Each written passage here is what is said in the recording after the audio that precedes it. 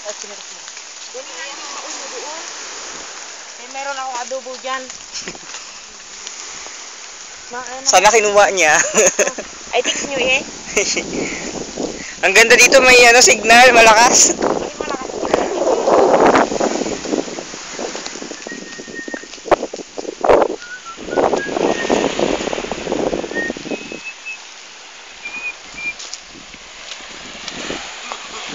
Mag-report ka ng Etpa Doodle. Ah, ako po muli ang inyong mag-uulan na si Jeffet KP Legend. Nandito po ako sa, ano, Barukan.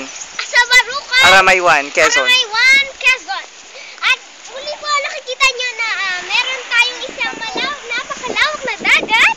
At pwede mo maligo dito.